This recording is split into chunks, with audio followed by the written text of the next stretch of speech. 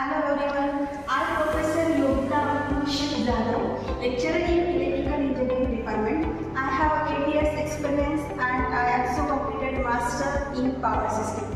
Let's discuss about our electrical engineering labs. This is our machine lab. There are 5 labs in our electrical engineering department. Electrical machine lab, power system lab, electrical circuit and network lab, basic electrical lab, Okay, let's uh,